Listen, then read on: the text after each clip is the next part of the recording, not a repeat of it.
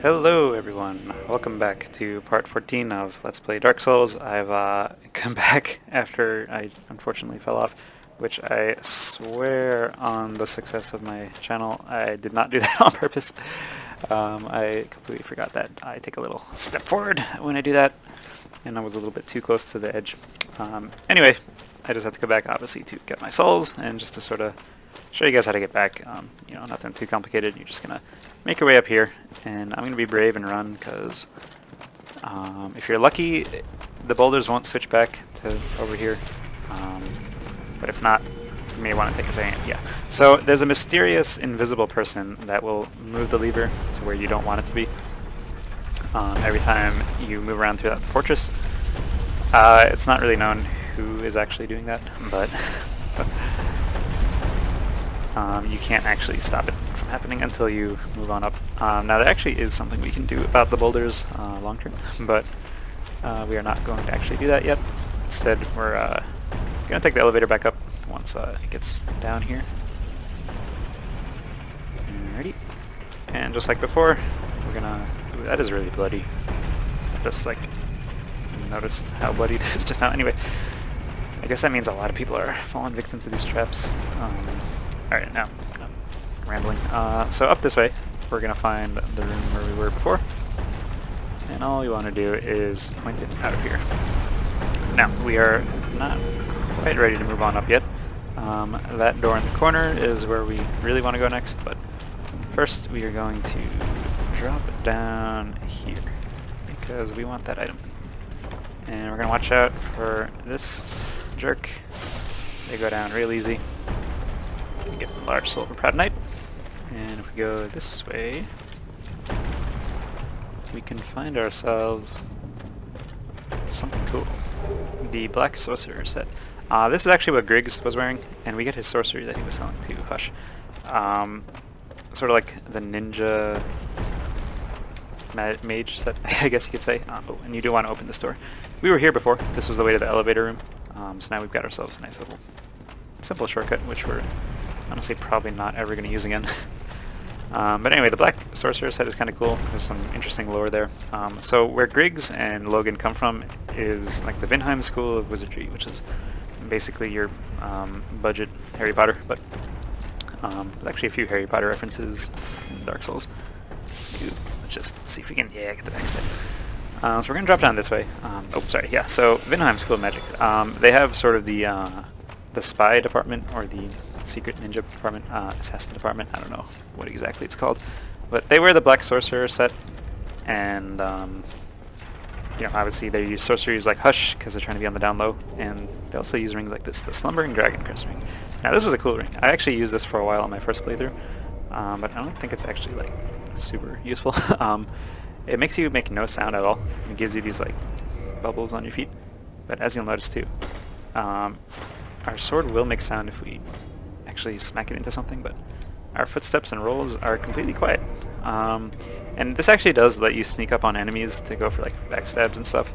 Definitely fitting for a more like ninja build, but we're going for the heavy knight build. We want them to know where we are. Um, and we are going to just drop down here. And that's going to put us back close to the start. Um, let me uh, let me cut back up to the um, the boulder control room. Um, you guys have already seen how to get back up there. We're just gonna make our way this way. So uh, see you there. Hello, and we're back.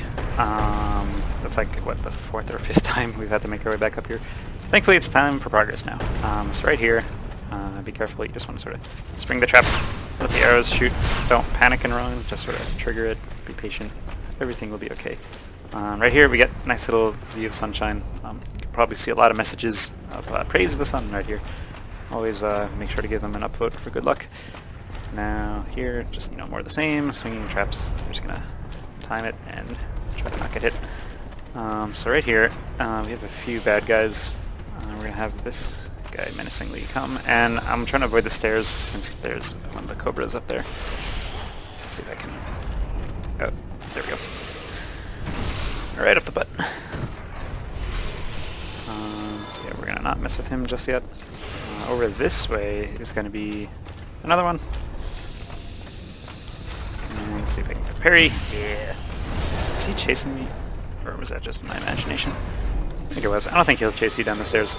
Um, we're going to find some more large Titanite shards right there. Very handy. And if we go stairs now, we should be good. Just give him a one-two smack. Nice. And we're actually almost out of here. Um, oh yeah, be careful here. You wanna you wanna keep running. Uh, one tip, by the way, with these axes, you can actually like safely run into them when like they're not swinging at you from the side. If that makes sense. Like basically what I just did there. Like you can press into it, and then as soon as it's out of the way, your guy will just simply um, pass through them. So yeah, give him a kick, get some revenge there. Let him get sliced on the way down. now I believe, now we're not totally done with the fort. Like I said, at a later point, oh careful, I almost ran right down there. Um, it's, just, it's just a hole to kill you. a lot of that in this fort. Uh, we're gonna go here, not fight the boss just yet. And we're gonna see. So that's that's the guy responsible for the um, boulders, by the way. Let's see if he's gonna. Yeah, he just sort of picks one up and puts it down. Uh, we can uh, we can go say hello to him later, but what we're gonna do first is run because there's a lot of scorch marks, as you can see. And finally, we find a bonfire. So let's go ahead and light it up, level up, and uh, move on with our lives. Let's get some more vitality, and let's see. I should I should probably use this whole item, but probably not. It'll be fine. So if you drop down here, just takes you right here, and then you can walk your way back up. Now, I'm not going to drop down here just yet, because we're eventually going to drop down there from above to get some treasure, and I'd rather be efficient. Um, so okay, so this first part here, you're going to kind of want to be quick, because up there, that guy is throwing big balls of fire at us, and you don't have to be, you don't exactly have to hurry. Like, he's going to throw them where you were a few seconds ago. Problem is you basically just can't stand still. um, so first we're going to do this little detour. We're going to fight another Berenike Knight here. Uh, we've seen this guy before at the Undead Parish. And he was a mini-boss, and I think this guy is... I don't know if this guy respawns. Uh, we can check out later, I guess. Uh, he might drop some Titanite or uh, one of his weapons. But if we go this way, we're going to get to fight an interesting fella. Uh, so be careful, don't just rush up, because you'll have this guy up here shooting arrows at you. And oh, I don't want to come too fast, because he's using a, yeah, he's got like a special rapier, which lets him do like this like rapid fire thrusting attack. Let's see if I can make him, alright, stop backing up. Yeah, see like he'll like sort of raise it, and then he'll do two, and there's another version where he does like, yeah, right there, see, like five attacks. Um, but yeah, he goes down real easily. Um, nice armor though, buddy. Uh, too bad, you know. Let's see here. So yeah, we actually get this rapier when we kill him, which is uh, pretty neat. And uh, you'll be able to use the strong attacks to also do the um, poke, poke, poke, poke, poke kind of thing.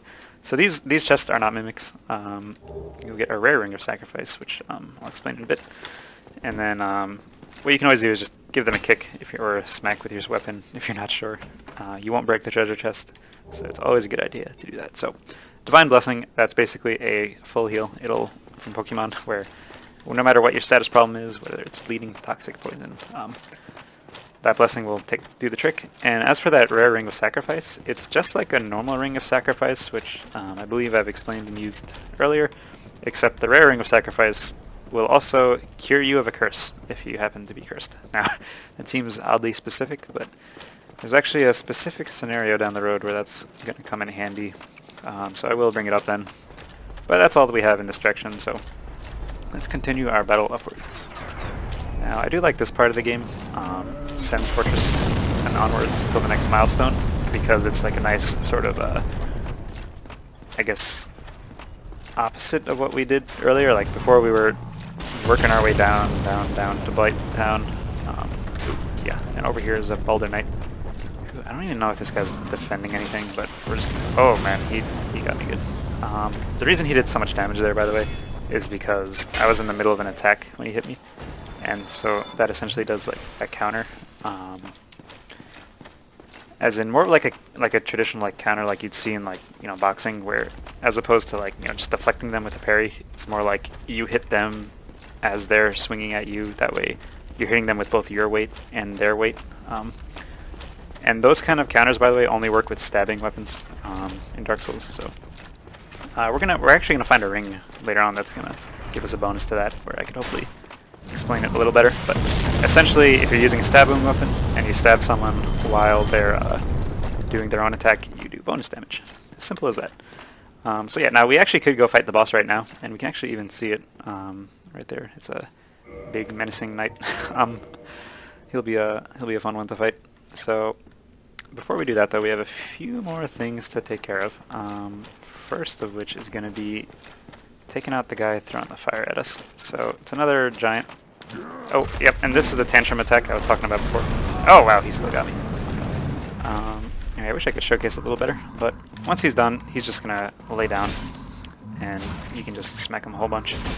Uh, if you hit him in the face, as if he were lined up a little better for it, you'll do bonus damage, but we're just to... Oh, oh, we got Okay. That's close. Um, I'm just to take him out because uh, now his fireballs, they won't be able to, uh, he won't be throwing them down at you anymore. And in fact, I think if you just run up here and just break all these, he won't be able to do anything either. He'll just sort of stare down at you. Um, and he will be throwing them during the boss fight, so definitely take this out, take him out first, or don't if you want the challenge.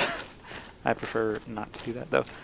Um, so anyway, if we go and sort of backtrack here, um, send him down, now we do want to make a jump here. And let's see, I could jump here, why not? Do a little leap of faith, save maybe 10 seconds. We that wasn't too bad. Uh, this is the real leap of faith here. Um, we want to go left this way. Now again, we want to sort of aim for that where it's a little more extended on the left there. Uh, but I always manage to mess it up. Oh, there we go. We got it. Awesome. So in here, we are going to find this guy here, who, by the way, if you if his feet look a little weird, he's actually floating. Yeah, he's not actually taller than you. The developers just wanted to raise him up to make him feel taller. But anyway, let's see what he has to say. Ah, what? What? Who, who are you? Ah, another undead, eh? I took on Sen's fortress alone, but I'm no different from those vile creatures. I was driven by conceit Ah, you think you're different? That you can handle it? Yes, I, I remember that feeling. For I was the same. So, let me help you out. With your soul searching. Uh, so yeah, he's a merchant, um, the Crestfallen merchant specifically. He's also depressed, like the guy at Firelink Shrine. Um, but his deal is basically he was a chosen undead candidate, but at this point, his spirit sort of broke, and rather than you know just get himself killed and go hollow, he's sort of just setting up shop in here, um, and just uh, all the things he's selling, by the way, are um, he's got a lot of armor and some cool weapons. I, I think the the backstory is like these are all the this is all the equipment of the people who failed and died. So little grim, but you know he'll go and take their stuff and sell them to you. This is where you can actually get Siegmeyer's set, interestingly enough. Um, the man himself is still chugging along, so don't worry. This is not like his stuff that we're taking. Um, he does sell these stone plate rings, which will boost your defense against uh, some specific elements. Um, and then you get, as usual, arrows. And then he sells some cool weapons, the great sword, the great axe. The Balder shield is a really cool shield. It's like a normal shield, but it's like uh, a mix between a great shield and uh, a normal shield. So interesting shield for sure, but I'm not gonna. You know, maybe I'll just pick it up. Maybe maybe we'll use it. I don't know. um, he, this is also your first source of large Titanite shards that you can buy. So you could just like not do any of the grinding back in Blighttown, like I mentioned, and just save some souls and buy them here. And then you can also buy black fire bombs and green blossoms. So cool little merchant. Um, he's got some interesting things to say as well too, I believe. There's nothing more to say. I'm finished. We're both on the brink, you see. End of story. You bloody fool. Alright, well I guess he actually doesn't have much more to say. Go along, try and make something of yourself. But nothing will come of it. And I should know. So yeah, um, I don't know if we're going to be seeing much more of him. Honestly, like, there's going to be another merchant coming up in the next area who's going to sell the large Titanite shards as well. So we don't have to come to him for those. Uh, and then none of his equipment we don't really need for now. so he's going to be a little lonely. But anyway, if we make our way all the way down here, right, um, we can find another Cobra, and then just give him another smack. And right there, we're going to find the cage key. Um, that's going to let us go and free Big Hat Logan. So it's also going to let us open up cages in general. Um, I'm going to open up a shortcut in a second here, which we would not have been able to without the key. Um, I didn't really like show it because cares about a little you cannot pass message. But um, I'm going to do that. And then um, you'll see that we've pretty much just like unlock this area. Oh, actually, before I do that, um, where I want to drop down is right here. And if I do this, back step and heal up, we're going to find another cool weapon. This is the sniper crossbow, which um, is basically a crossbow which is specialized long range. Um, I don't know how much actual sniping you're going to be able to do with it, but it's a cool weapon, I guess. Um, so down here are those stairs I was talking about before. That's the treasure we just picked up. So we just gotta take out these guys. We just make some really like painful sounding screams, by the way. Um, we're gonna open this not mimic and get ourselves the flamestone plate ring. So if we're in a fiery area, we might throw that on, but honestly, our Havel and Wolf ring combo is pretty like end game. so most of the other rings we don't. There's definitely other rings that are good, just in terms of like what I'm going for. It's pretty much the end game ring set we need. So uh, yeah, now we, we can sort of like waltz and take our time now that we're not um, having fire thrown at us, but I'm still going to run because I don't want to waste too much time. Um, it's actually not that far of a walk up. Um, but if I go this way, inside that room to the right, I believe, is what I want. And yeah, here. So these two cages right here. Um, if you go ahead and open one of them up, and I think you can no, you have to open up this one. Uh, if you open up this guy, and then you step inside, this is going to take us all the way down to the start of the fort. Right on this first bridge. And um, funnily enough, it'll put you right in front of this guy, and in order to get back up, you will have to step out, so just be careful, and, right, and there he goes. He's actually fine. Wow, no damage. Alright, so that's awesome there, because that does open up the uh, shortcut. And um, yeah, that'll make it easier for you to get to Logan, which um, I'll go and meet you there right now. Hey, and we're back. Um, as you can see, the wall is still broken, but he's still leaning, leaning against it. So you know what? Uh, we're not going to let the let that fly. You have to obey physics in this house, my friend. But we probably would have killed him anyway, so whatever. Uh, so before we free him, let's go see what this item was.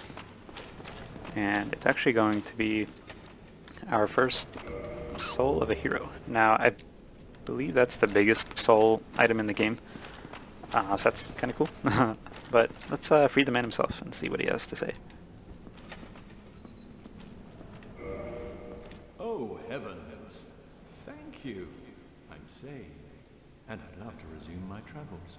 But I must log a few things first, and I owe you a favor. I will return to Firelink Shrine. Speak with me there, so that I may impart my sorcery. Alrighty, um, let's see, does he have anything else? Oh, hello. Don't mind me, go on ahead. I'll be along later. Whoa, I'll be just fine, young one. Uh, so yeah, like you said, he's an advanced wizard. He's uh, he's got plenty of magic that'll keep him safe. And uh, yeah, we'll see more of him at Firelink Shrine. Uh, we're not we're not gonna head back now. Uh, we'll be back there eventually, but for now, let's press on. We've we freed him, so we're good. Um, so rather than go all the way back up again, let's go take the shortcut up, and let's go see if we can do something about uh, those boulders.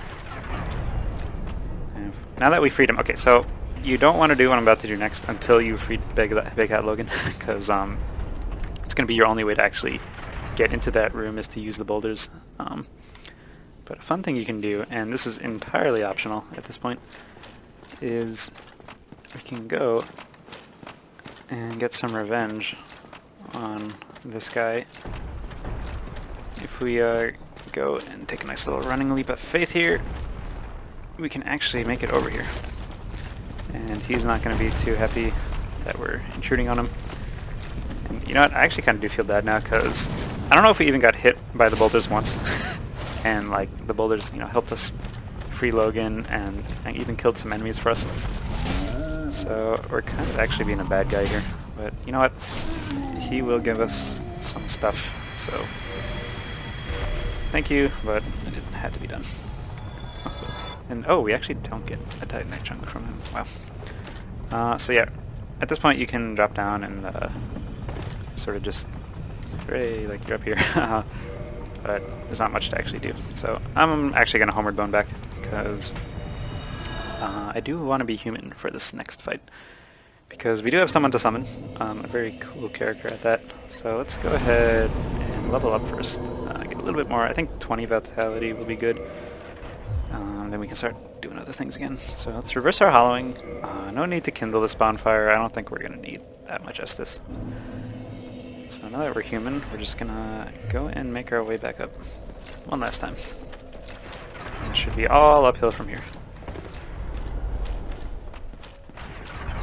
Alrighty, so and again, another walk of walk of shame from having to constantly drop off and pick up this, pick up that. All these items that I'm probably never gonna use, but just want to showcase to you guys. Oh, that guy actually respawns. I didn't know that. Okay, in that case, you can kill him whenever you want, I guess.